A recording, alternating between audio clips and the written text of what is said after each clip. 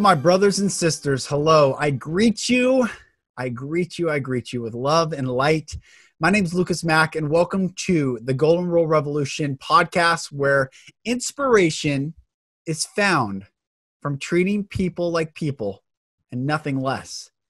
Today, I have a yogi on, but not just a yogi, I have a brother of mine on the podcast, the creator of the Great Awakening Map.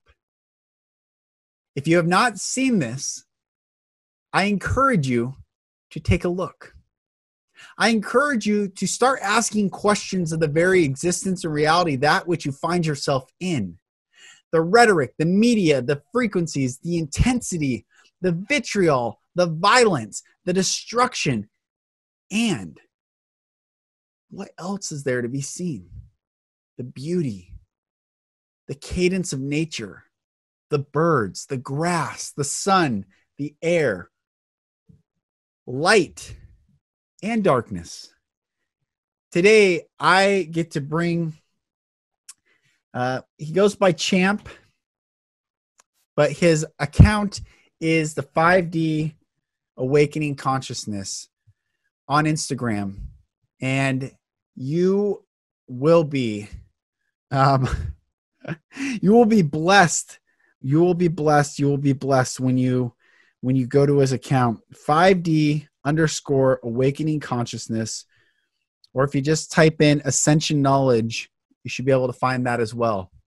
But welcome to this episode and welcome to the Great Awakening. Um, so walk me through your where first of all, where were you born? Where'd you grow up? Oh, I want to ask you so many questions too. I was born in Manhattan, New York. Wow. But I never lived in New York, so I can't really call myself a New Yorker, other than I was born in Manhattan. Uh, my family moved to California for my entire life, wow. so I was born and raised. I, I was I was raised all my life in Southern California. And when did you first acknowledge, or when were you first aware of that spiritual spark? That didn't come till a lot a lot later. Mm. um, i went to uc irvine and when i graduated uc irvine it was around 2007 so i would say maybe 2009 is when i really had my rabbit hole red pill and then there was no turning back from there. And what was the catalyst for that? What what what bit of information did you stumble across or were you presented with that woke you up okay, this is one of my favorite stories, and every time I tell it, there's like new details that I remember. But um, awesome. To say around 2008, 2009 ish, I was living at home as a freelance graphic designer, and when you're a freelance designer, you have so many hours during the day to to do what you need to to to explore YouTube, etc and I was accidentally browsing YouTube and I came across a video. It was like a black and white, really low res video. And it was something to do with the hexagon on top of Saturn. And on the top of Saturn, there's a, on the north pole of Saturn, there's a cloud pattern. And this cloud pattern is in the shape of a hexagon. And this hexagon storm is so large, you could fit 10 Earths within the diameter of this thing. Wow. Wow. And my whole life, I have been a Trekkie and a Star Wars fan. I've been obsessed with space, astronomy. So here I was out of college.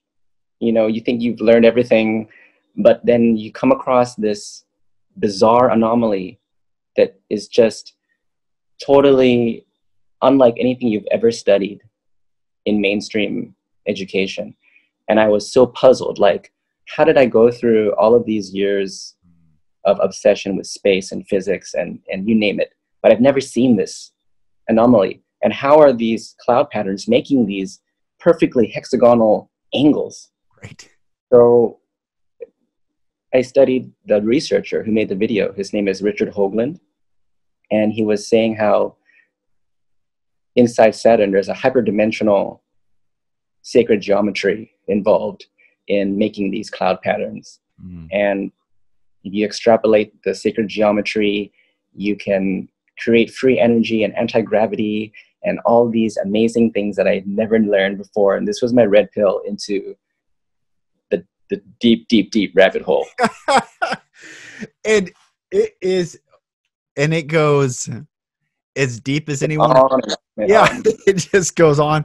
Your, um, so I, first of all, I just, I love, I love talking about this stuff. And not for talking about its sake, but understanding that there is so much happening in the now moment in our reality, in the reality of the greater collective.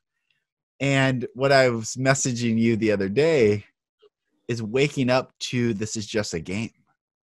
And exactly. it's a game that we get to play, or it's a game that we cho- get to choose not to play or it's a game we get to change the rules or it's a game you know it this is an incredible um reality and all the the great awakening map ever since i was a kid ever since i i grew up in a severely traumatic home and had terrible things happen to me and ever since I was four, I can remember specifically four, four years old, where I lived, and I had this sense that I was, and it just recurred over and over. But the sense that I was supposed to start this, or not start, but be part of, or lead, or be speaking on behalf of this awakening. I, I used to call it in high school. That I thought I called it the third great awakening because I called the the first great awakening what took place in the from the reformation all the way to about 1776 that first great awakening that that sparked the great american founders and philosophy of benjamin franklin saying um, instead of cursing the darkness light a candle and this great philosophical rhetoric that came into the to the consciousness of the planet but then i i took the second great awakening as um, more of the Christian path where they, the abolitionists, the the doing to others as you would have them doing to you, and Charles Finney. So I was looking at this as being the third great awakening, but really, I've studied more and more. This is the great awakening. you know what I mean? Like the others were great movements um, and certainly had their part, but I think only as foundational pieces for this this awakening. So I share all that to say I when I saw your map, first of all, I've I've studied most of not all, but most of, and I had to understand. It was like what it was almost like ah, and everything in alignment on one beautifully designed piece of art that I could see and track. And um, one thing that I I I grew up in a Christian from a Christian perspective and one of the things I realized very early on is that if Satan, and this is just in the context of what I grew up in, not that I'm saying that this is reality now, but if Satan is pride, if he is the epitome of ego and and self-serving pride and arrogance and has no shame, then I looked at movies that came out as basically front page headlines. And I've always had that awareness of like, oh, when Hollywood comes out with something, it's it's a declaration and they're not hiding what they're doing. In fact now that i read the satanic bible or have read all these other works from that perspective they have to show or they would consider themselves hypocritical. But society does not process you know we operate like we can't hear the pitch of a dog that dogs can hear a dog whistle and we can't see light in other you know frequencies. We can only see what we see. And then we say well what we can't hear and see does not exist when the easiest example is man's best friend. Here's a pitch that we cannot. So a society just kind of sleeps through this very narrow frequency while people that are willing and able to operate in, in the fullness of what they can operate in do that. So i'm just sharing anyway i just i love i'm so glad we're talking. I think this is so important to there's more. I think that's like the tagline. It should be there's more. I also grew up uh, for 12 years from kindergarten through high school. I went to a private Christian school, high school. Mm-hmm. So you can drop all the Christian references. I'll understand everything. You got it. Okay. Okay. And I've also seen, you know, the religious world from that aspect because I grew up in Loma Linda. It's a very Seventh Day Adventist Christian community. So I saw the hardcore stuff. You know. Yes. The highs, the lows, you name it. I saw it all. Yeah.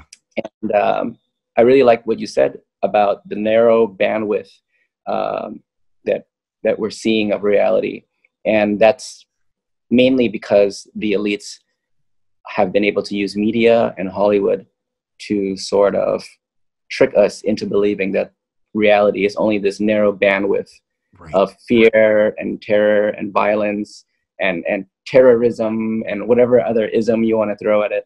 So uh, when you travel the world, you see the truth that 99% of this world is just full of peace and love yes. and everybody just wants to have a good time. Yes. But if you turn on the TV, you get like this bizarre alternate reality parallel universe where it's just like bombs and guns and violence and foul language. Right. And you have to realize this. The Americans have been tricked.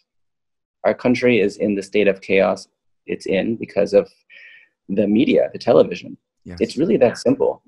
It's not just television, it's magazines, it's the the tabloids in the checkout checkout line. Yeah. Um, it, it's advertisements, TV commercials, all of that stuff. It's it's programming people to believe that reality should be this way right. when it isn't. I mean, this is very obvious, but when you live in this saturated media environment that America is, it's hard to go even one day without seeing any words or advertisements or or even like a rap song with lyrics right. that stays in your mind all day and then 10 years later you'll still hear that same lyric like for instance um, living in thailand now i would go to like a coffee shop in the middle of the country and they barely have electricity but they have rap music playing in the background mm. and hmm. it's like it's like lyrics about like heartbreak and like just negative stuff you know right materialistic right. stuff and they don't know what, it, what the lyrics are but for me it's like bugging me and i'm trying to escape america to get away from this whole thing but then i'm here like thousands of miles away on the other side of the world and i'm listening to the same type of like negative rap, rap lyrics. Hmm. it's just bizarre you know? It's like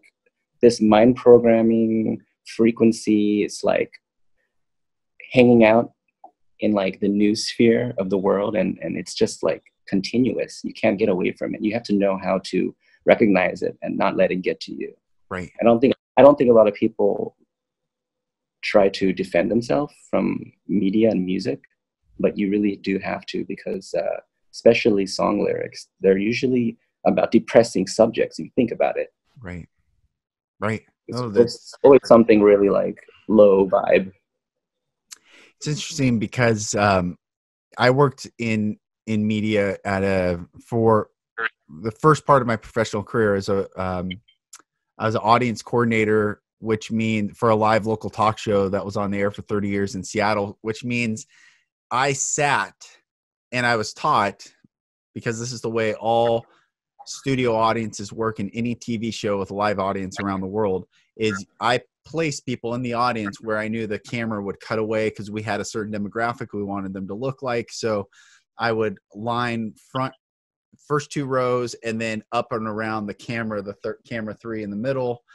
And then we are basically creating this reality. And then I got them all to warm up, and I'd raise my hand like this if to let them know get ready to clap. And then I go like this, and it was a clap like this. If I went two hands, everyone's going crazy, and it was fun. But I'm basically creating the feel that I want someone at home to feel like. And then from that position, I, I was a TV reporter and journalist. So I was in small markets in, in Eastern Washington and then went down to San Antonio. And when I was down in San Antonio, Texas, I was a feature reporter. So I did all the fun, inspiring, uplifting stories. I had two um, segments. I had the night shift um, on the Fox affiliate, which was supposed to be like the culture and, and funny and just engaging the community.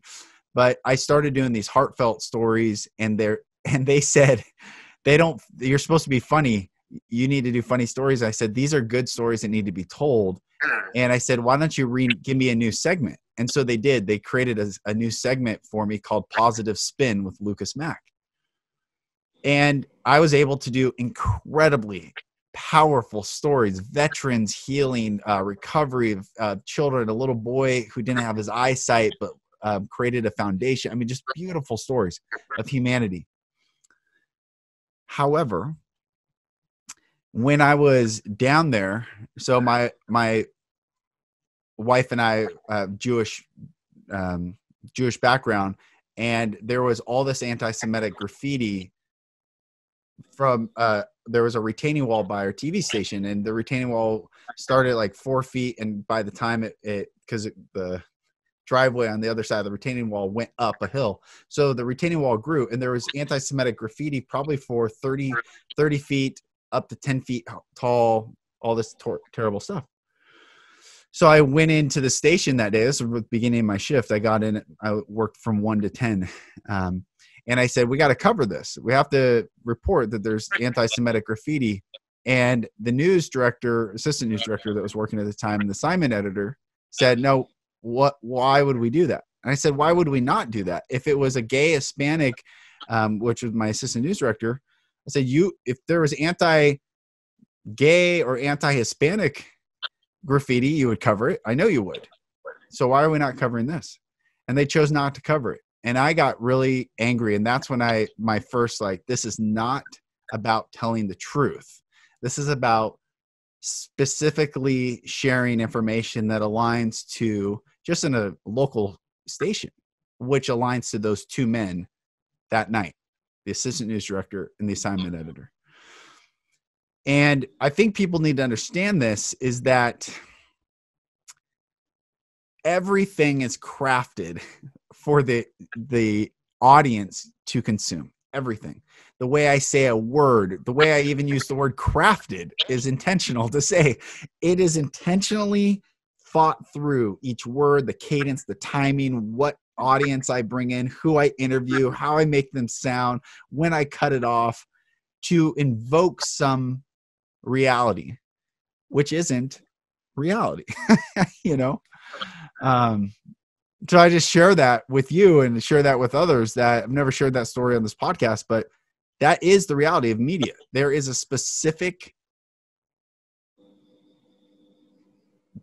I don't even want to use the word bias or agenda because those I don't even think it's that nefarious. I don't even think it's that intentional. I think it's that when someone in power is presented with a narrative that doesn't align to their personal desire to share with the world, they're just not going to share it. I think it's sometimes that simple. Was this uh, prior to 9 11? Uh, this is post. It was post. Okay. Yeah. A lot of the the mainstream news channels. Um, I know you worked in the ed- agency, so you'll understand this. Yeah. Um, even the typography they use and the graphic designs uh, for the news slides these are all like sensational types of design you know there's a designer creating these graphics with like lots of red and, and black and white emergency colors with these right. bold typefaces um, the typefaces they use are very um, are very particular high high end typefaces that are used in advertising. So these are typefaces that have been seen by the masses millions of times. So when they use these typefaces on the, on the television screen it goes into the consciousness much easier and much more willing almost uh, subconsciously. And uh, as a designer you know you see other designers using you know design elements to to make a certain feeling right. and and you are like dude this this is not real stuff this is just they're just trying to make us feel a certain way by using these crazy designs. Do you know what I'm saying? yeah, no, I do. And the name for the graphic that that flies across the screen is called a stinger. That's the news term. Yes. What we need? What stinger are we gonna? I'm like stinger. You're literally every insect that sting usually injects some sort of irritant or i mean it cannot if you really break down what is happening we are being invaded by a rhetoric entity that is infecting our minds which then affects our bodies which then affects our community which then affects i mean and it goes on and on and on. And people are sick and the suicide rate's higher than it's ever been. I know I don't know globally, I don't have the statistics, but I know in the United States certainly it's higher than it's ever been in recorded history that men comprise 79% of all suicides in the United States. And if you look at this um, the people that are free, the people like you and I that break out, and many, there, there's many many many many multitudes of people waking up. But the the what we get to wake up to is one of the things we get to wake up to is in the movie the matrix.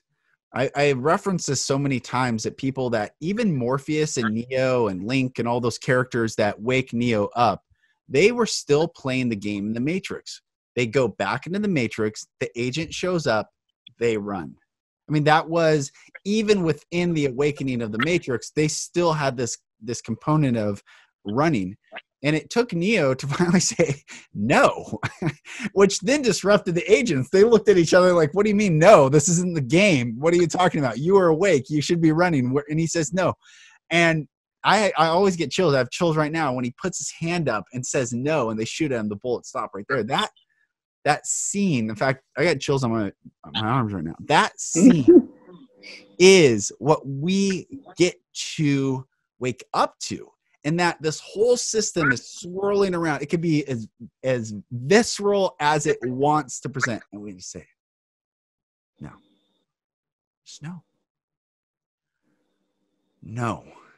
That that is what i think i i really believe humanity's desire is to say no.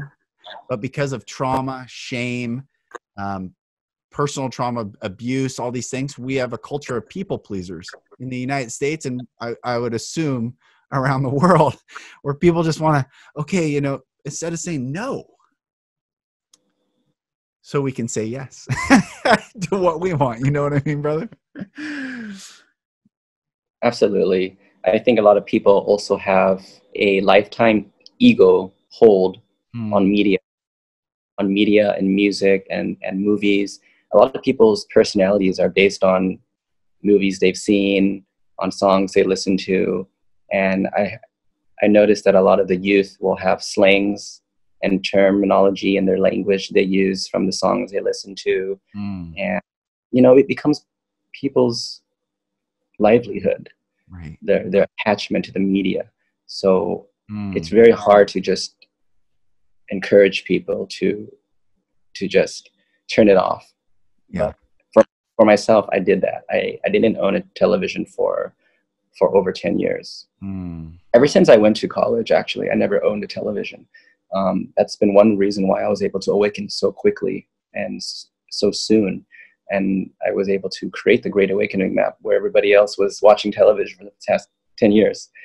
So um, that's one reason why I was able to break away from the media because when I was an art student, we did a lot of critique on mainstream culture. Mm-hmm. So that was one reason why I was able to break away from that type of mind programming. I was able to see past it a long time ago.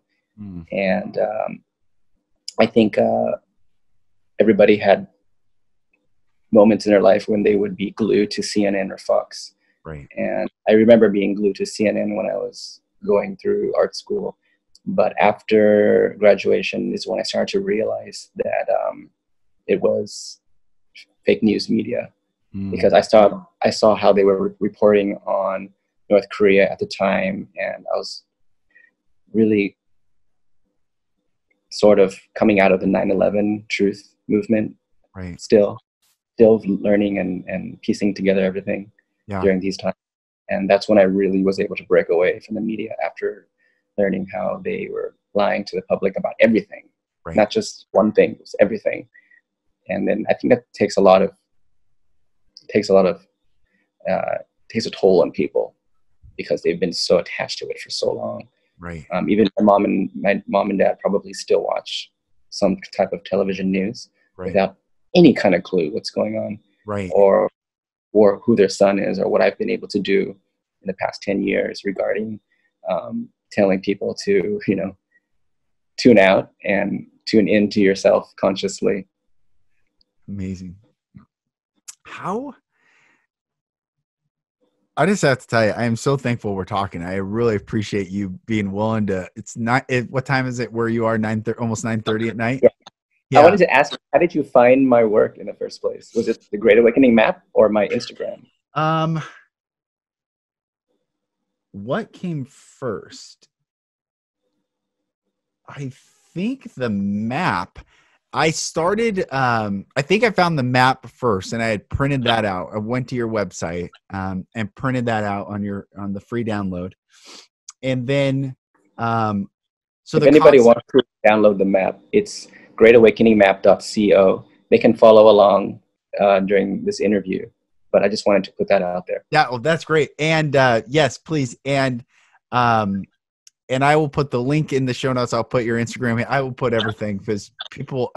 This is first of all, how long? I have to. ask, How long did it take you to design this? I love that question. This it's a fun question because uh, the truth is, I was a researcher. Remember, I told you from that moment I turned on that video of the hexagon on Saturn. Yeah. I sort of consider that like my first step into the rabbit hole. Hmm. So that was over ten years ago. So I was a researcher for ten years, buddy. But I didn't write a book. I didn't have anything to prove the knowledge I had gained over the past ten years of being a researcher slash artist slash designer. So in mid 2018, I sat down and I said to myself, Bro, you are an artist, you're a designer, you haven't done anything to wake up the world. What's wrong with you? You got to do something now. And this is when QAnon started to come onto the scene. And QAnon had done all of this political waking up of people, but they had not yet touched on the on the secret space program or other really dark rabbit holes that connect to everything. right. So I said, okay, this is my chance. I need to make the ultimate one page meme that can waken humanity as quickly as possible. And it needs to contain as many red pills and rabbit holes as humanly possible. So over the course of one weekend, I sat down and I the layout came out. The layout came down. Wow. I, I, I made an intention to channel the I really need to make this really powerful. Please help me. I need I need this information to channel through me. Everything that I've ever learned, I I need it to come out now. So as a designer, you know, it, it came naturally for me to to lay it out using the typography and and the, the layout that, I, that you see. Um, over the weekend, I got the layout down, and then over the course of a week, I sort of finalized it. Um, the information was still coming. It didn't have that many revisions, amazingly, um, but I released it on Instagram immediately after that week, and then the rest is history. It, it, it started to slowly grow over the course of uh, six months, and then I think I had my Instagram already created by then for over maybe I would say a year. I had the, the 5D Awakening Consciousness Instagram. So when I started to use the map in conjunction with that account, then it started to pick up faster. My following rate started to to increase, Wow. and then um, the map sort of started to float around as uh, an important piece of the Great Awakening. Yeah. And I kind of wanted it to be this anonymous piece of of art that would help QAnons to really understand the big picture of everything. Because a lot of QAnons are really stuck in the political, but they haven't seen the spiritual or the secret space program or the ultimate big picture view of reality that's Right. been there the entire time. And and Q alludes to it all the time, but um, Q is really focused on the political right now because that's where That's the we can awaken most of the majority of the Americans. right. And then And then the QAnons who are really brave, they can go a little bit deeper. They can put together a little bit more of the pieces of the puzzle. And if they're lucky enough to find the map, they may be able to go into the map all the way, not even just to the political, but all the way to like spiritual enlightenment, like full yes. light body yes. You know, that, yes. that's the dream. Huh? It's they have to awaken to that. That's right. That I have a who the, you know, who um do you know who did this um the deep state map? The deep state map is by another artist named Dylan Lewis. And when I created the Great Awakening map, he had already created the the Q web is what he named it. Wow. So the Q web prompted me to create the Great Awakening map because his map had touched on the secret space program just a little bit. Yes. And that's my specialty. So I decided to really go deep into the secret space program and show how free free energy and, and extraterrestrial disclosure was all tied in with the QAnon movement, which it is. you know, I uh, last night. So one of the big um, blessings in my life has been Gaia, the channel which you have in the map, and um, but I forget what I was watching last a couple weeks ago. Talk about the um, anti-gravitational energy and all that, but the Jetsons. I mean, I watched the Jetsons regularly when I was a kid. And now you can't, no one probably even knows what the Jetsons are. They took that even concept away, which was, you know, that what were they doing? They weren't burning fossil fuels to move around. And, um, like a free energy future. Free, it's a free. It was free yeah, exactly. And um, all this at that very, all this stuff got taken out, and um, show me question. So let me. Where do I even start? You mentioned um, Q. How did you how did you first find Q? It was just from being on the internet so much as a researcher. Yeah, it's it was inevi- inevitable. You know, um, I found it maybe the first two weeks. Q started to, you know, who I heard about it from? It was David Wilcock. Wow. He was getting, he was having conversations with uh, an anonymous person who was linked to to QAnon. That's how I found out about it. Wow. Yeah, it was it was way back in the day before Q the Q uh, the Q drops were even happening. Man, I I am admittedly late to Q. I only found Q during this year. Um, and yet all the stuff on your map, I would say besides Q, which I just learned about, most of the stuff I've been aware of just through my own readings um, since college myself. So when I was 20, I attempted suicide. And then when I did not die that night, something broke open in my brain where my life changed dramatically. Um, that's not even the right word. Like I would talk about that was like a born again experience, but sadly, I never dealt with the trauma before 20. So I carried t- two decades worth of horrific trauma, tried to pretend it did not exist, push forward. I wanted to know what truth was more than anything else, I knew two things. I knew I loved God. I knew I loved the I knew I loved the origin of light and the origin of love. And I love truth. And I would do anything. I mean, I did a podcast earlier um, this year why I left Christianity to find the love of God. And because I, and I got a lot of flack from it. I, a lot of people reached out, thank you. But I want truth more than anything, more than um, I would rather. I mean, I would not prefer it, but I would rather, given the two choices, stay true to myself and stay true to truth, and the world hate me, versus the world love me and I've compromised truth. That is how much I love the truth. So I've read all these books my whole life. Like I have this book, 50 Years in the Church of Rome by Charles Chiniquy. And he was a um, Catholic priest. I think he was a Jesuit priest who started reading the Bible in the in the uh, early 1800s, and read instead of reading it in Latin and doing the mass in Latin, he started reading it, and and he was a French uh, priest from Quebec, and he came down to the Ohio territory, and he starts reading the Bible, and he has this radical transformation and he starts preaching scripture in this Catholic uh, church, and there was a revival that broke out. Well, the Jesuits in Chicago um, came to him and said, "Stop it," and he said no.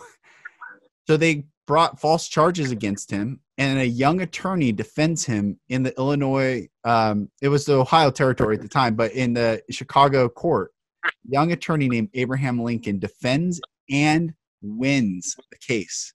And Charles Chiniquy says they will never forget. And that was my first. And Charles Chiniquy was his spiritual advisor, Lincoln's entire presidency. He was his personal spiritual advisor. And um, I'm reading books like this. I'm waking up, I'm like, what? What is happening? Like, who, what, what do you mean? And so my awakening has come through the spiritual, religious, things don't make sense, this global rhetoric, and where I've realized that um, emissaries, Roman emissaries, just became missionaries. Uh, you know, you could change the name, but the intent was still the same. We're here at a new territory. We're coming, submit or die. And then they changed it to convert or die, whatever, you know, it's still the same. So it woke me up through that that realm to realize why would I not believe anything? Why would I not believe everything? The King James Bible is an interesting uh, text in it, and it says in um, First Corinthians, it says, "Charity believeth all things." It's the only it's the only English version Bible that says that term when it says love is kind, love is patient, love is but the King James Bible says charity believeth all things. And charity means a benevolent goodwill and love towards our fellow man. Like, I want a benevolent goodwill and love towards you. I want a benevolent goodwill and love towards it believes all things. And then I started thinking beliefs are to be explored. Beliefs are not to be concretely we will never know all truth. We just can go and explore beliefs. And I can sit in this. I can sit with whoever. So I am just sharing my my journey, my process of I'm not afraid to say, yeah, I believe that because why not? Why how can I say it's not? Because it most likely is. anyway, brother, I'm talking a lot, but I'm just sharing like how I came to this whole path. Uh, yeah, I see how you mentioned that you are sort of breaking out of the religious sort of I mean that you that you had as as a youth and um, religion is following the messenger, but spirituality is following the message. Yes, brother. Yes. So that's what that's what we're awakening to as a collective consciousness right now. Um, I think a lot of the people who have awakened away from the religious upbringing, they found the spiritual knowledge in terms of consciousness and meditation and, and high vibration and these sorts of things. So it's a really exciting time because spirituality is not what people have always sort of made it out to be. Right. It has a lot more to do with consciousness and manifesting your dreams and finding all sorts of teachings around the world that help you become the true version of yourself, the highest version of yourself. And even if you do have a religious upbringing, you can use that to strengthen your spiritual connection to self, to mind. Um, for myself, I am I'm a yogi now, so I practice uh, a form of meditation called Dzogchen, and Dzogchen is from the Vajrayana school of Buddhism, but um, it's more of a practice in mind awareness. The true nature of the mind is the state of enlightenment. And to tune into that state of mind, um, there's a practice, a meditation practice, where you leave your mind in a non dual state of awareness. Um, sounds, sounds kind of fancy, but what it really means is that the, the normal state of mind that people are in is called a dualistic state of mind. Mm. It's constantly seeing objects and judging them as good, bad, Mm. ugly, pretty, expensive, non expensive. The dualistic mind is constantly judging. When you see somebody, the mind is judging them constantly. Mm. And this is what creates suffering in our life. We go on and on and on throughout our lives without realizing the dualistic mind. And this is how suffering um, takes a hold. And that's how depression slowly seeps into your life. So if you can learn how to see the world from a non dual state of mind, that means when you are walking through a city, uh, a normal person's mind would judge everything, Mm. would judge somebody's fashion, would look at that car and, and, and either want it or, or uh, not want it, you know, craving or aversion to everything constantly. But the non dual state of mind sees everything in reality as one taste, as supreme evenness. It, it doesn't latch on to objects anymore. It's, it knows that everything is impermanent and it doesn't need to latch onto objects as permanent things. Mm. So this this this awareness is not really considered a meditation. It's more of like a constant awareness that you practice Mm. throughout your life. And as a Dzogchen yogi, this is their main practice. And this is also the path that leads somebody to the rainbow body, uh, the light body activation. I'm not sure if you ever heard of this term. But the rainbow body is when um, when a monk or practitioner passes away, their body turns into light. Their Mm. body is a transfiguration into pure rainbow light. And usually nothing is left behind except nails and hair. Mm. So the body actually um, dissolves and shrinks down into a tiny figurine, maybe about three inches tall. And the body will stay warm this entire time. This occurs over the course of maybe a week or two. And as the body becomes that tiny, uh, rainbow lights are emitted throughout the room and throughout the village. And sometimes earthquakes will occur. Sometimes pleasant music will be heard throughout the village and the town. It's, there's many miraculous things that occur during during the, the rainbow body activation of somebody who practices um, this type of meditation throughout their life. Mm. It's It's very fascinating. Very fascinating. Um, this is also uh, talked about on the top right of the Great Awakening map. yes. Yes. Uh, that ty- that section of the map is very very profound. It talks about the rainbow body. It talks about supernatural abilities such as telepathy, levitation, um, moving your hand through solid matter. Uh, these are states of attainment that any human being can can have. Even Christians have attained these states of being. Um, Christians have been known to levitate. I've read stories about this. Uh, Jesus had a whole slew of miracles he was able to perform. yes. So these are these aren't just fairy tales. These are things that transcend across religions. You know, Hindus could do this. Tibetan Buddhists can do this. Christians, I've heard of this. yes. Many other spiritually awakened people. It doesn't matter if, if you are religious. It, it only matters if you are spiritually awakened. yes. Um, because Jesus was an ascended master. yes. So was so was Buddha. So was many other people. Right. So this is spirituality. Spirituality is awakening to your awakened nature. Um, Jesus found his awakened nature. He was able to perform miracles. Buddha awakened to his nature. He was able to to train many other people to become Buddhas who were able to dis- display much much more um, amazing abilities than even the Buddha was performing during his lifetime Mm. um, many many secret yogis and and lamas and monks have these abilities and um, in tibet these stories are very very uh, very common but in the west you know we kind of um, file them away as fairy tales or or coincidence or Right. woo woo whatever you want you know Right. so this awakening is, is about returning to this knowledge that each and every person is capable of Mm. and if everybody knew this kind of knowledge, there wouldn't be rioting in the streets of our country like like there is now. People have lost the connection to who they truly are. And if they truly knew they were able to levitate and, and have telepathy and turn themselves into pure light light beings, I think a lot of people would wouldn't even think once about about rioting or hurting another fellow man. Right. Right.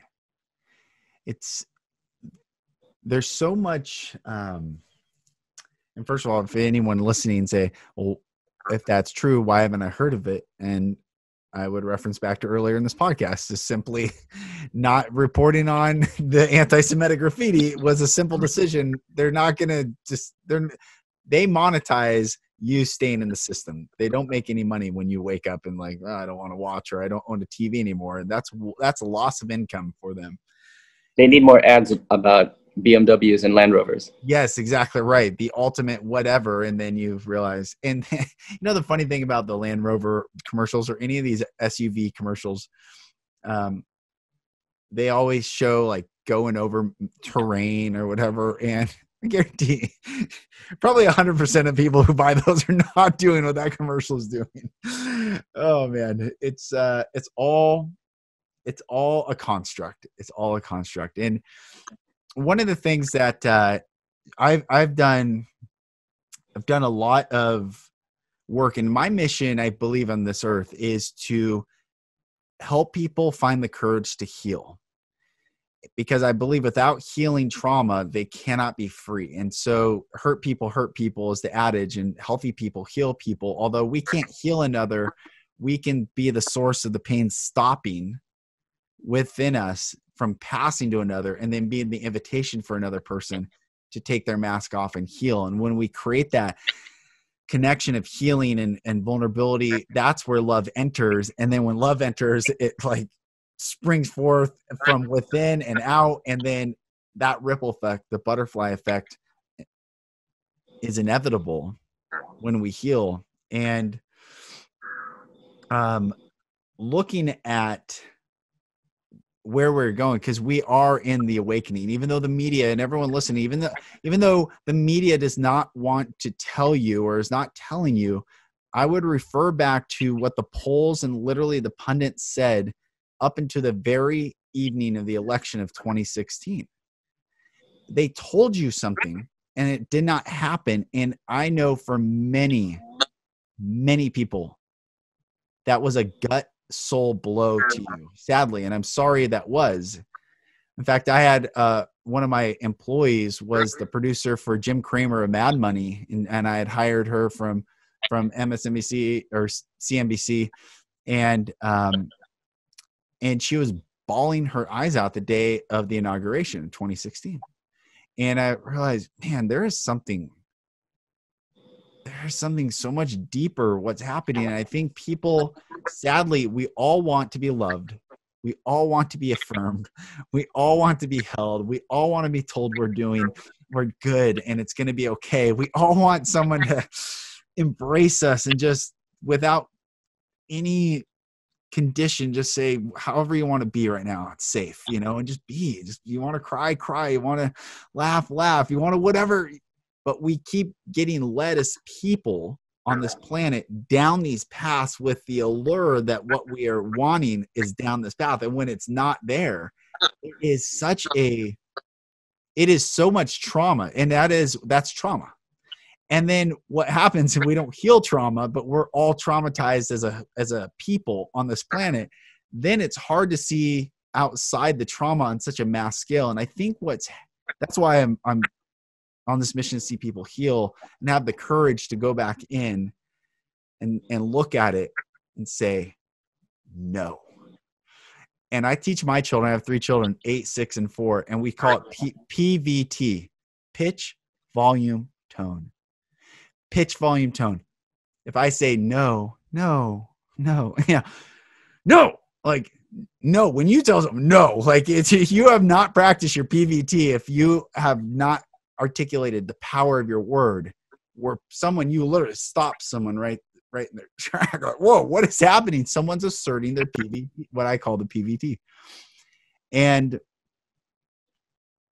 you I, I'm, I'm sorry i'm talking a lot but i just i'm framing up i don't know i just you are helping people awaken out of this this global trauma consensus essentially and it's so powerful. So what what are some of the other things you've seen as far as just people following you reaching out to you um, even in your in your your practice as a med- as a yogi what are you seeing both in the spirit realm and in this physical plane?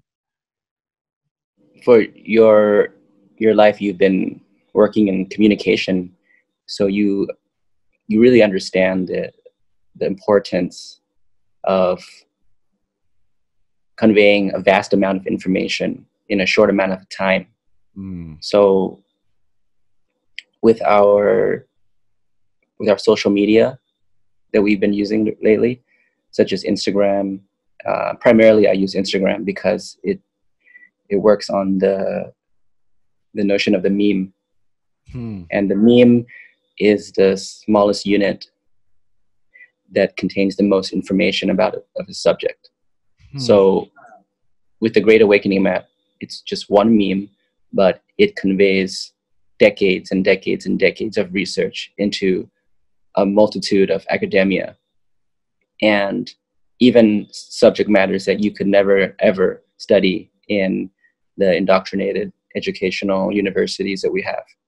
So the meme is very powerful. And every day on Instagram, when I release a meme, it has the potential to completely change somebody's life. Mm. It has the potential to teach tens and tens of years of knowledge in one second. Mm. And that's that's the power of the meme. And you have to really, really understand your role as a designer because in the Great Awakening, I think the designers and artists are some of the avant-garde frontline because yeah. we are in this informational war and we have to convey information as quickly as possible against the deep state apparatus.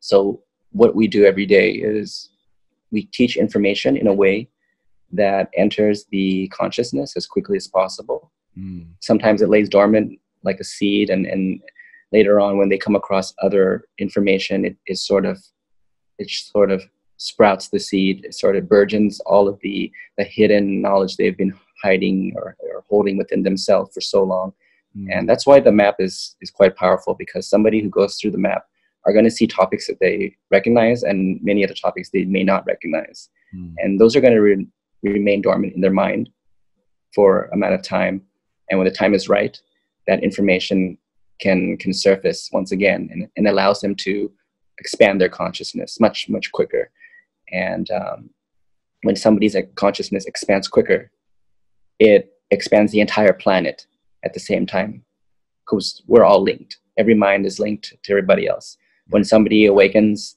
when somebody becomes enlightened the entire world becomes enlightened this is very powerful so the map is designed to raise the vibration of anybody who comes across that type of information.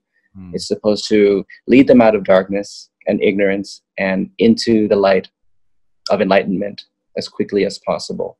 So, not just my map, but other memes that other light workers are releasing every day on Instagram and Twitter and Facebook.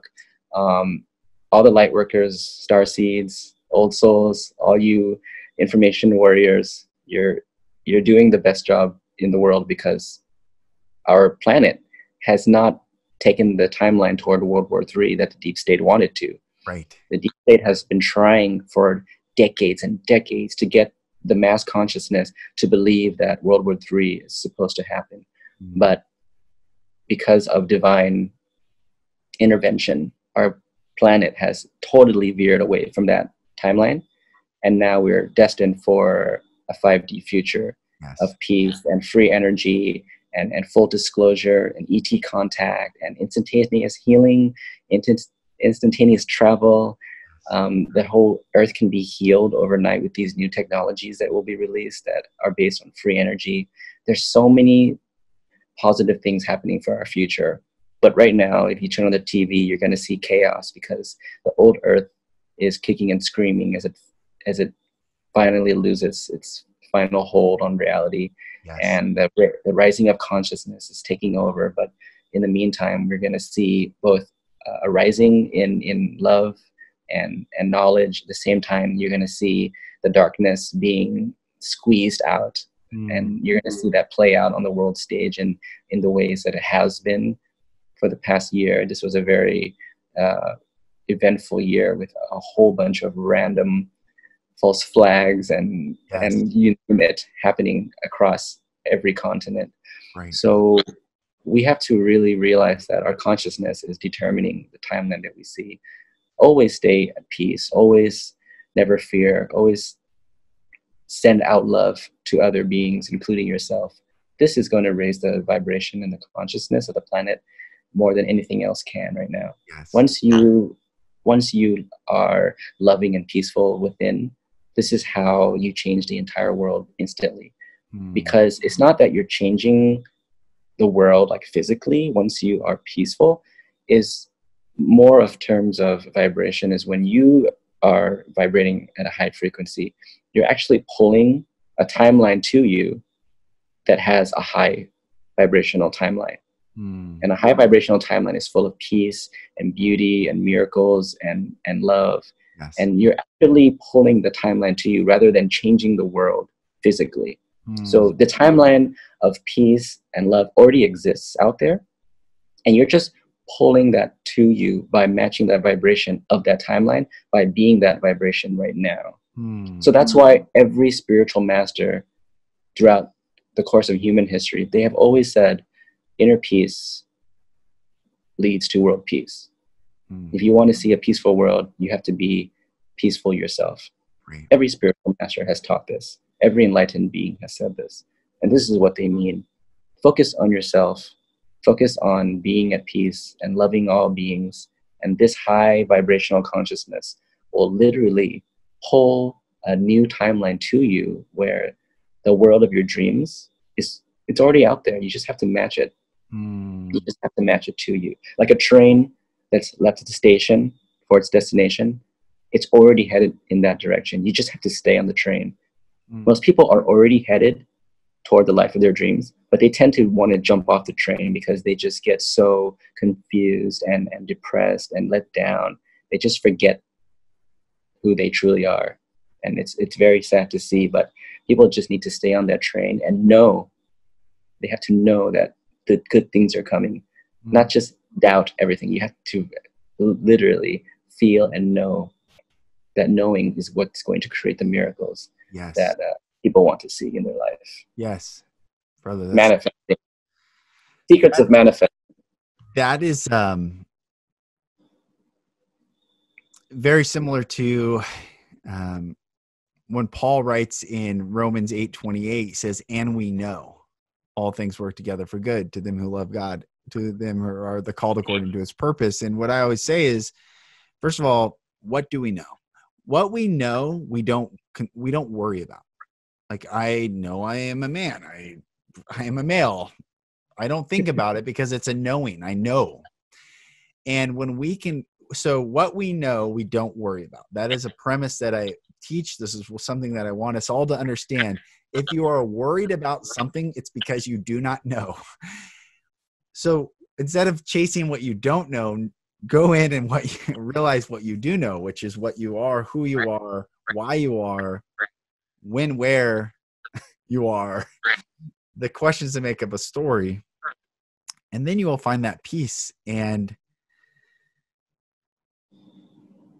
the knowing, the gnosis, the waking up to oneself is so amazing. I, I remember um, I don't know, I was watching some show, uh, one of the shows on Gaia, and I'm like, oh, I'm a Gnostic. If I was gonna drive my my belief I was like, oh, that's what I am. And finally, I like, oh, okay, I got it. And reading, um, I just finished a couple months ago, uh, the Dead Sea Scrolls and the Christian myth about Jesus, the leader of the Essenes. Um, and the Dead Sea Scrolls were the Essenes were the Gnostic sect of Judaism, which you know, and they were persecuted and they were drove out, and and the guy that re- published that book was the only agnostic he was an atheist and he was not charged or uh, reading that book just for anyone listening there was no charge of anti anything in it he was just the only one that brought forth his research on the dead sea scrolls and the other researchers who are anglicans or catholics have yet to disclose their research because it does not fit the narrative mm-hmm. but once you start to realize like it all the narrative is if we're seeking and staying in a narrative like you said which is so beautiful i have not heard it put that way is following the messenger versus following the message and if we're following messengers i know many people who would decry uh, cults for being dangerous but a cult is simply thus saith a messenger to a group that has a consensus to agree to follow the messenger. Well, you can just because cults can seem small or we can visually see them like, oh, this is a cult. This is a, a wild, wild country on Netflix of the Maharishi, the Bhagwan, you know, like, oh, that's what it looks like. No, it could be global. If you simply, it's a consensus of people aligning to a messenger who says, don't and do. And you say, okay, you know. It's, uh, I think, every, I religion is like a stepping stone to lead, to reach the peak of spiritual enlightenment. hmm, Sometimes you have to uh, go through several religions until you find the truth of spirituality. yeah, You know, yeah, I, I No, I think that uh, that's good. That's beautiful. on my map I have the word gnosis, yes. and I put that in there because it's it's this primordial knowledge that we are all sort of innately endowed with.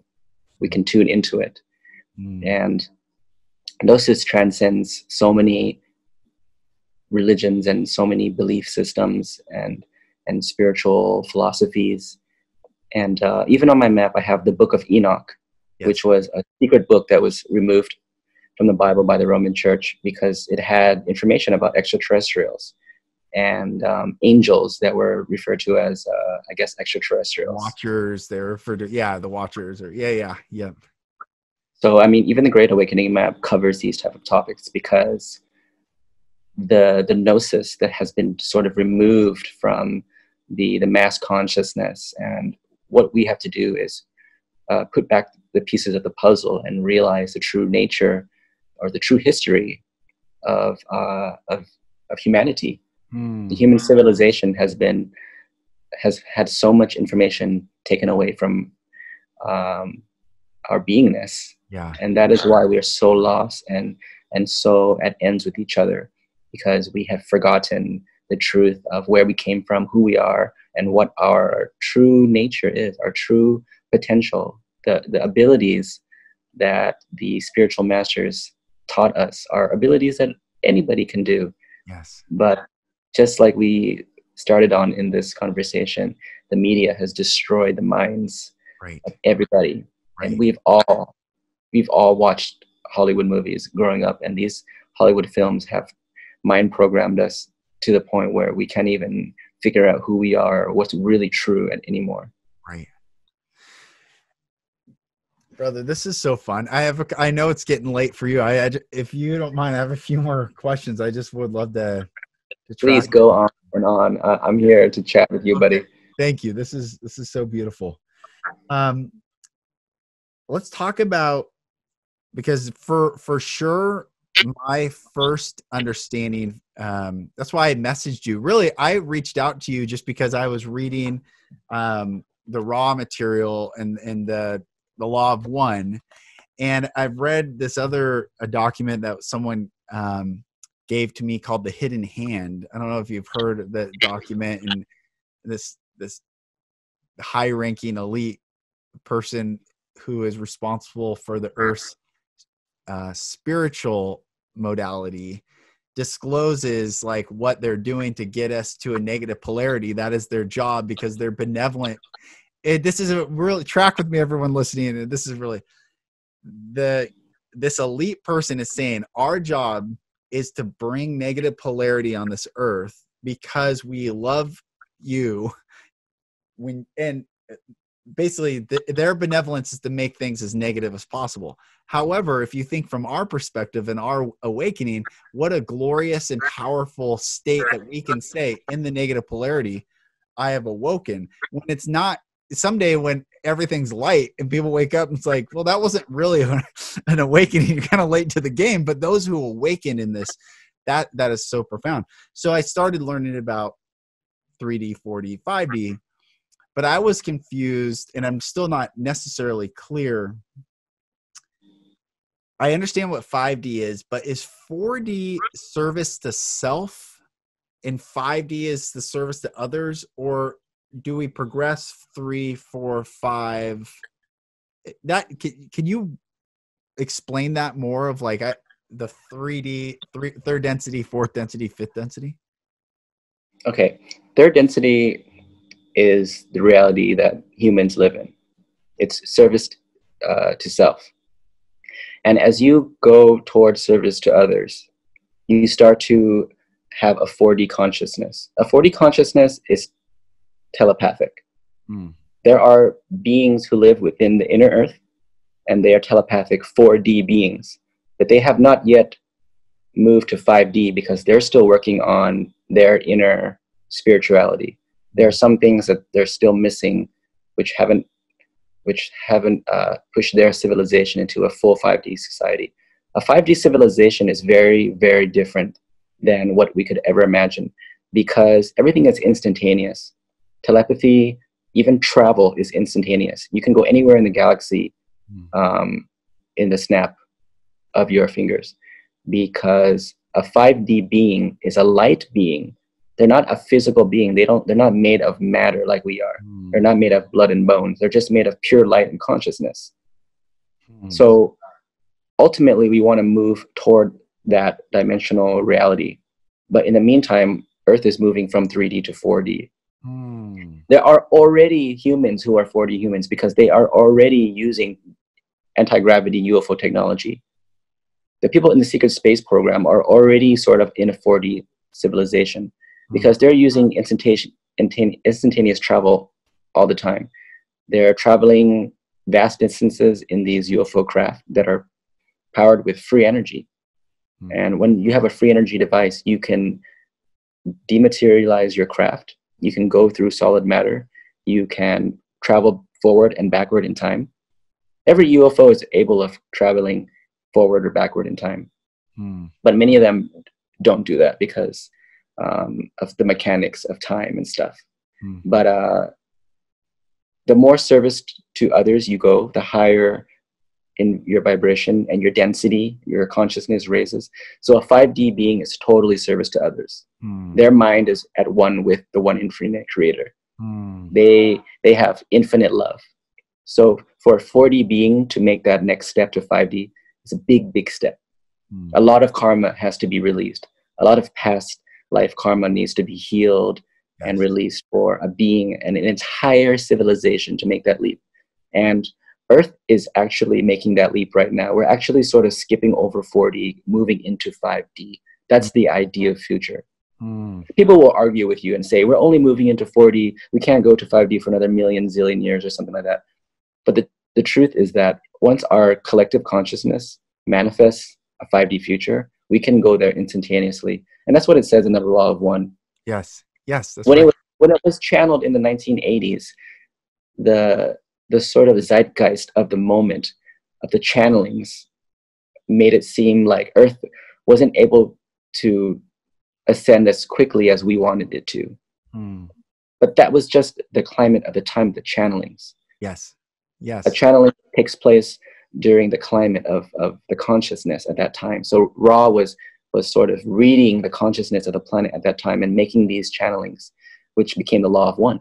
Yes. But we can change the message. We can change the, the outcome of where our planet comes because we have a more awareness of the teachings now. And we can use group meditation and mass meditation to to change the timeline which we have been we've been doing. We just need to keep doing it more and more as more people awaken.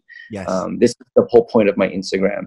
I, I do these mass meditations every so often and, and they really they really change the timeline of our planet toward a more positive future hmm. and um, the more people who awaken they automatically are already into this type of information so hmm. once that goes into their consciousness it automatically pushes the entire planet toward a better timeline so me and you are having this conversation because we've already brought ourselves vibrationally into the higher timeline. Yes. It's also known as the new earth. The 5D new earth is, is what I like to call it. Um, so we had to keep moving on this timeline with no fear. The fact that we have no fear is creating these peaceful lives for ourselves. Mm. And then when we are at peace, we are able to manifest a peace, a more peaceful world for everybody else. Mm this is this is the the job of the light worker this is the job of those who are awakened now who have awakened sooner than the rest of the population we have been incarnated for this time, for this reason. Yes. And with your talents and with my talents, we are having these conversations and, and awakening other minds, new minds and new hearts every day, yes. continuing the, the raising of the vibration of this planet.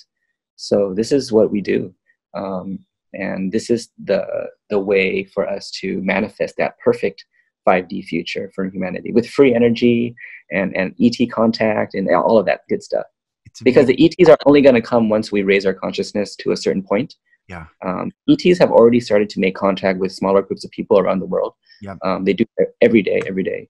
You have more and more UFO sightings every day, more and more ET contact. Sometimes the contact is more telepathic or during the dream state. Yep. But these contacts are going to keep increasing and increasing as mass contact becomes uh, more more near. in crop circles and all these, you know, yeah, it's it's Mhm. happening at such a high frequency right now. It's all tied in with the speed that we release free energy to our planet. Hmm. So the secret space programs already have this free energy, and defectors from the secret space program are known as the Secret Space Program Alliance. They're sort of the the heroes. Uh, they're sort of like the Rebel Alliance of Star Wars. Okay, right, so right, the Rebel Alliance is trying to release this free energy for this world right now, but the deep state keeps you know kicking them back down, and and and it's a it's a real war. This is a cosmic war that is inner Earth and in outer space. And every time they try to release free energy, the deep state has uh, a plan to stop them. Hmm. But this space war has been going on for so long. But QAnon is is part of the is part of the Earth Alliance. Hmm. The Earth Alliance is a secret alliance of of nations who are trying to release free energy, and they're allied with QAnon. But Earth Alliance is also allied with the Secret Space Program Hmm. and the secret space program is giving them the free energy technology and they are also helping qanon uh, see into the future by using the looking glass technology i don't know if you've heard of this Yep. this yep. is how uh, this is how trump is able to make such confident predictions about the future and this is how he's able to talk so confidently against his his opponents because they've been able to view future timelines and they know the course that the nation is headed Right. so right now the the white hats are letting the deep state literally destroy themselves in front of in, in front of the whole nation on the media Right. and then the, the alliance is just sitting back and watching all the pieces fall together because they already know the outcome they already know how the game is going to end they are just using qanon as a mouthpiece to teach us how the game is being won Hmm. qanon has already said the game has already been won you're just watching it unfold through Right. enjoy drop the show. Right. Exactly. that's why they keep saying enjoy the show Yeah. and they are not lying these are high highest ranking level intelligence officers Hmm. and they're telling us to enjoy the show because they know for a fact that it's not just them in control this is a divine mission yes. ets are involved and secret space program heroes with crazy exotic technologies you can't even imagine Hmm. there's technologies that allow you to hear anything you want to hear on the entire planet Hmm. it doesn't matter if you're like at the bottom of the ocean or on the top of the tallest mountain. They have devices that can hear any location. This is why Q always says, hear all, see all. We have it all. They literally have it all. The enemy cannot hide. Amazing. The white hats are in control. The patriots are in control. Yes. It's literally it's literally a show that's unfolding before our eyes and all we have to do is just keep awakening people to this truth Yes. Yes. So I'm in Seattle, and Seattle has um, the Capitol Hill Autonomous Zone or Opportunity. I don't know what CHOP stands for, but they changed it from Chaz to CHOP, and and and I don't.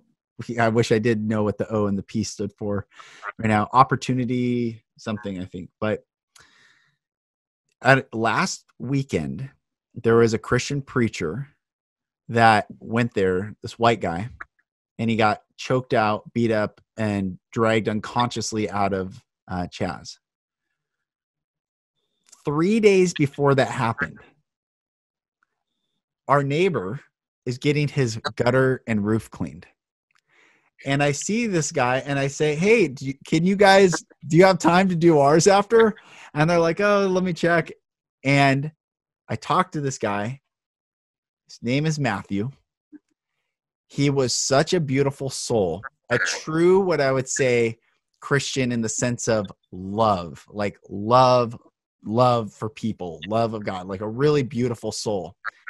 And I'm talking to this guy, and it was last Saturday. Um, as I'm growing, as we're and we're very close to all this stuff here in proximity wise, energy wise, and I felt the the the pull of that and pull of that zone, pull of the energy. It was it was kind of swirling up. This guy gets on top of my roof, and immediately, I mean, I have chills again. Immediately, I felt a peace over my home. Like, like I can't. I have chills right now. Him being on top of my house cleaning my gutters allowed my wife and my children. We prayed and we blessed everyone. We blessed people and Chaz. We started blessing just blessing and blessing and blessing and blessing and blessing uh, wherever blessing. I have chills right now just blessing these people.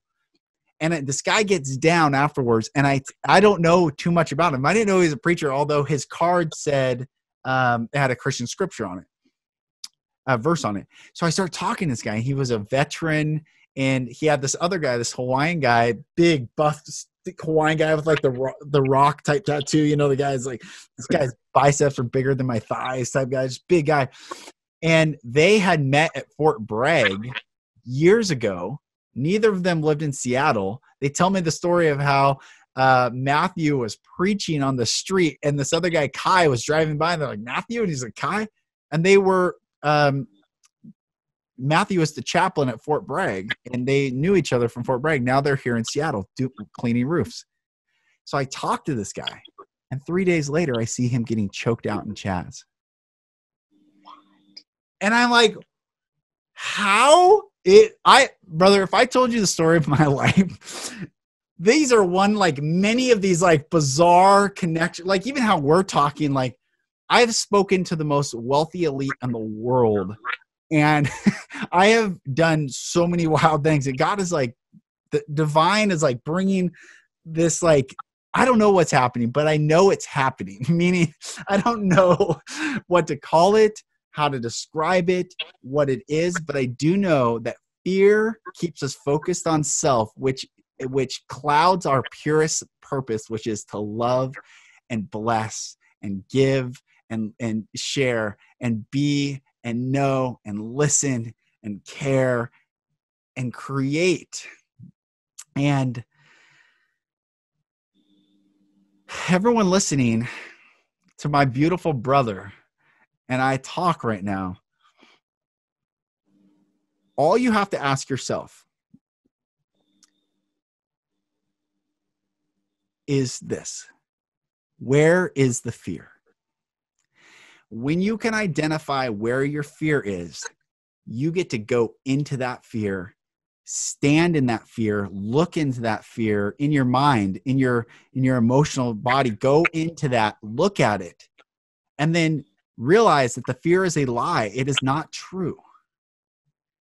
The truth is, what you speak into that lie, what you speak into that darkness, what you bring forth from your mouth and your mind, your light comes out and you eradicate the lie. You eradicate the fear. You eradicate the darkness. But what i learned brother is journeying this past weekend. I told you i just journeyed and i had this real I, I came to the realization that this is a game. And i've journeyed many times on, on many but this one specific was oh this is a game. And i realized my brother matthew the guy that was on my roof chose to play that game in that space, in that time, in that moment. And that game produces a result, which, and I'm not saying he did it bad, there's no judgment on it. He actually sparked these two beautiful black women going into Chaz and waking people up because they saw him, uh, what happened to him. So there's always a, a, um, a beauty to our, the ripple effect. But I think the greatest game is our awakening right now. Like awaken to this is a game and we can play it however we want. We can change the rules whenever we want. Someone says, "Oh, you pulled a card, you have to you have to land on the purple." Say, "Actually, this card now means to me that I avoid purples or whatever. I mean, you know, you can play Candyland, you can play whatever board game you want to look at it and just have fun in this reality and not feel suppressed by the rules of the deep state, of the media, of fear, of control, of your parents, of your family structure. Because that's usually where people get tripped up is the family structure. And that's why I think so many people aren't free, is because this family structure it supersedes all structures. You know, oh, I can't, I want to be free, but my parents, you know, that guilt. So uh, anyway, I, I just uh, wanted to share. I don't even know where I'm going. I just wanted to share, and I love what you're saying. And life is funny, you know. Life is funny. I think it's really bizarre that you saw them in Chaz when you're passing through randomly. You said he was he cleaned our roof. It was just a random. He cleaned our roof, and then three days later, I see him in Chaz, and and I'm like, this is so random and wild, and it's just uh, there's no coincidences. There's no coincidences. Nothing is of coincidence. Everything is is like you said connected. Which I want to uh, ask you a few more questions. So what can people be doing right now listening from the, the seventh largest audience of this podcast interestingly enough is saudi arabia and there's an awakening even in saudi arabia and this podcast the golden rule revolution i the reason i called it that is because i i believed a while ago that the most revolutionary thing you can do is treat people like people. You treat them like human beings, love them, and treat them as the way you want to be treated. That is revolutionary. Sadly, it's a it's a more an indictment against our current society societal state, but it's also the greatest opportunity. You want to be a revolutionary. You want to change the world. You want to be radical. Love people. You will be the most radical revolutionary that the system has seen. Love people. So from your from your perspective brother what can people do right now in this in the now moment to to find themselves to find their awakening brother you were already doing it earlier you were you were blessing the guys on the roof blessing the city blessing everything mm. you were just like spread fire blessing everything yes. in your whole life and that is the non-dual state of mind the non dual state of mind is a mind of compassionate wisdom. Mm. Compassionate wisdom is the mind of enlightenment. Mm. And the more that we are in that state of mind, the more miracles happen.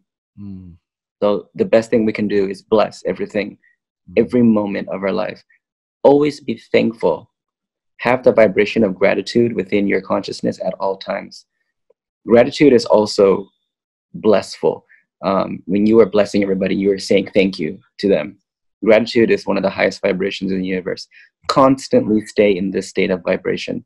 Um, how you can do this is throughout your day, always be think, thinking in your mind, thank you that I have this home. Thank you that I'm mm. safe. Thank you that I had food today. Thank you that I'm healthy. Thank you that I'm alive.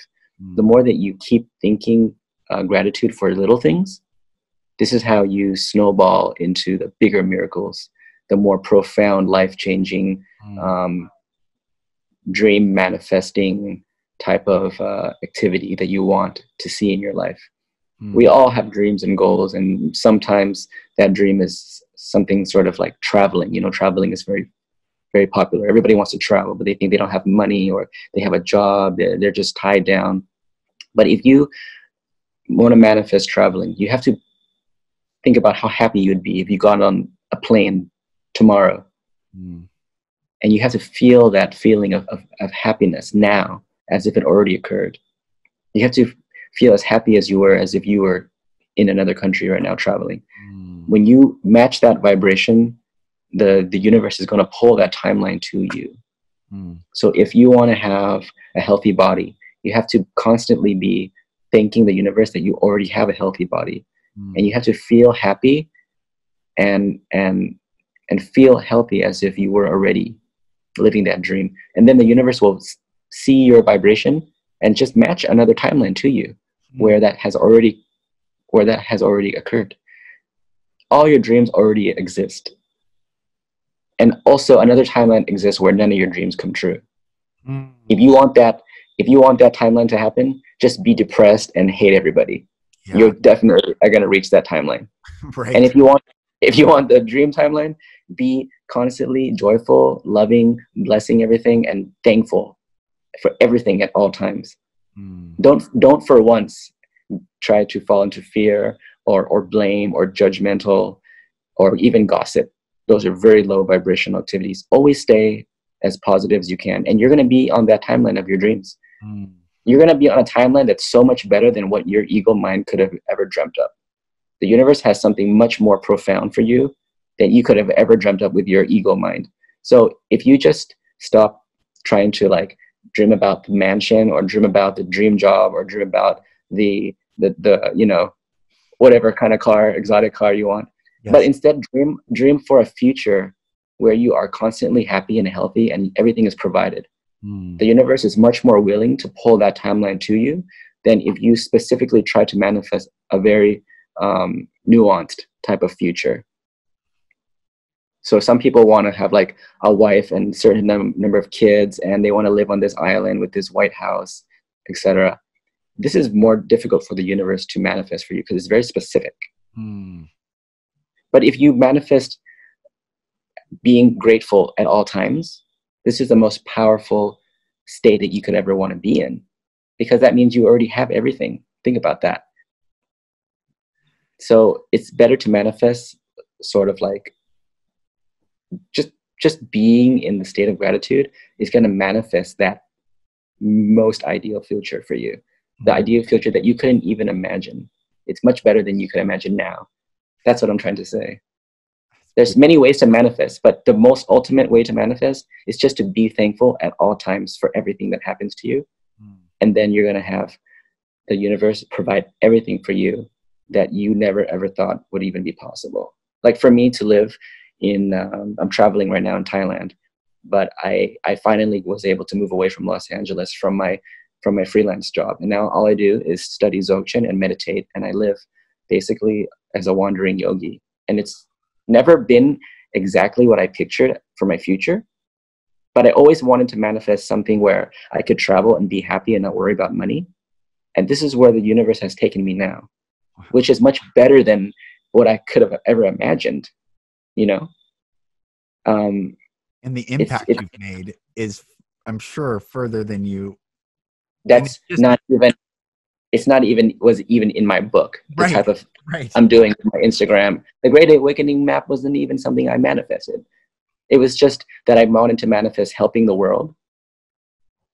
And the map and instagram was just part of it. So the universe is going to throw in these bonuses that are just way more amazing that you could have imagined. That's why I'm taking care of my Instagram and the Great Awakening map um, during my meditation retreat. It's mm-hmm. it's the only sort of work job that I do, but it's not considered a job to me. It's just my it's my joy. So beautiful, brother. So so to, for me to get here, all I did was manifest gratitude. I didn't ask the universe for a specific amount of income per year or something crazy like that. You know, right. I just manifested gratitude, and then two years later, everything is just like perfect if, if you can even imagine Amazing. that word being true. Because when you are a yogi um, and you're practicing the non-dual state of mind uh, living a perfect life is not something that's a, a utopian. Right. Because you start to realize that perfection is just a dualistic term. Hmm. it's just a it's just another term it's just another label another judgment. So once you can get over the fact of, of judging what's perfect and what's not and what's ideal and what isn't then you got to start to be living the non-dual state of mind where everything is just always perfect quote unquote perfect. Yeah. So i, I, I encourage all of your audience to pick up um, a meditation technique. Um, you don't have to pick dzogchen you don't have to go non-dual but you can start off with other many many other forms of meditation. Just focus on what brings you joy at that moment and later on in, in your life your meditation technique will change you'll find something better or something more fun or something more easier, something more profound. It's going to find you at the right time when your vibration matches. Uh, a lot of people start with yoga. Mm-hmm. I think a lot of people first awaken with yoga and, and how it expands their consciousness and their chakras and all that sort of stuff. Yes. And then later on, they start to uh, pick up meditation of more of the mind, uh, mind changing instead of more physical changing of the body. Yeah. Uh, consciousness is important. I, I, would suggest meditation over anything else, but uh, everybody has their, um, you know, has their own goals at the time of their spiritual awakening. Right, right. So beautiful, brother. It's so beautiful. I'm so glad. I'm so thankful that we're able to talk, and and uh, I hope this is one of many. And just thank you, seriously, thank you, brother. Thank you for thank you so much. doing what you're doing and speaking and sharing. And it's seen. It's impactful. It's incredible and it's just the beginning this is just the beginning you're just you're just scratching the surface you know this is this is um so beautiful and and you know there's too much everyone listening there's too much i mean every single thing on the on the great awakening map is a podcast subject of its own in probably many many many many episodes um so we you know touched on a few. Enjoy it, play with it. Just as a diamond reflects light in every move, you can turn it upside down, look at it different angles. Like, start looking at yourself, looking at this world, looking at life from all facets, and let the light the light come through and look at it differently. It's okay to look at things from all perspectives, spherically, inside and out upside and down and play with it because this is a game and and we we've forgotten to have fun. We've forgotten to to be grateful. We've forgotten that there are so many that are in need of what we have to give. Our blessing for another is the blessing that they're seeking uh their manifesting is actually our blessing them. We we the smile that we give to someone the eye contact we look at someone in the eye the the the stillness that we bring to another soul all these things are the blessing and the gift and the joy of being in this reality right now. So keep going brothers and sisters. And my brother thank you so much. Thank you so much brother. Thank you so much as well I just wanted to say that uh, you were talking about the game as you were closing, and I just wanted to say that uh, to win the game, you have to not take things so seriously. And think about that when you played video games when you're younger. The more serious you took it, the more you'd lose and, and die. Mm. But if you realized it was a game and you had fun, that's the whole point of it. It's the it's the game. Don't mm. take things so seriously a lot of spiritual masters also said that enlightenment is not taking things so serious. Hmm. That's another really powerful thing I learned uh, over the years. So I just wanted to close with that. I had another thing to say, but I, I think it had to do with the map. But we didn't even touch on like the deepest parts of the map yet. no, we didn't. I mean, um, you you tell me i mean there's so there's so much when like um oh i remember now. Yeah. It was the crystal. You were talking about the crystal. Yes yes yes. the the crystal is one of the most powerful symbols of dzogchen meditation. Hmm. um, the crystal is able to become any of the colors behind it but the crystal forever stays unmoved. Hmm so just like us right now in the in the game, we, we can absorb everything around us as we take in new information, but we should always remain remain equanimous, just like the crystal. The crystal is constantly equanimous, no matter where it is. Hmm. Whenever you put the crystal over something else, it it becomes that color behind it, becomes hmm. that light behind it, but it's never it's never really, really affected. That's how we should always be. We should always remain equanimous within all the information that we we take in. Mm. Don't don't become polarized. Try not to choose sides or pick sides. Just observe everything yes. with equanimity. Yes. And that's the greatest way to stay in the non-dual state of mind during these times. Hmm. Yeah, that's beautiful. Well, I think then the the only solution is we'll do another episode some some hopefully soon and let's let's get in. Let's go let's go deep. Um and I'm down. Thanks. That, that would be amazing. Thanks so much. Yeah. I'm and so how down. people financially support you? Oh, thank you so much. Um, I actually receive donations. So if um, if anybody wants to make a purchase from my my shop, I sell posters and T-shirts of uh, 5D gifts. Um, the Great Awakening map can also be purchased as a professional museum quality poster mm. um, at great, greatawakeningmap.co. But if people would like to leave a donation, they're more than welcome to. Uh, just go to my website and you'll see the donation link. So anything helps to continue my work and my mission and to uh, continue my lifestyle as a wandering yogi. So this is uh, this is the life path right now, and every single person who has ever contributed has helped me so much to uh, continue this work for for humanity. It's it's truly amazing how many people reach out to me every day. So I'm really really grateful. Thank you, everybody. Blessings, brother. Blessings.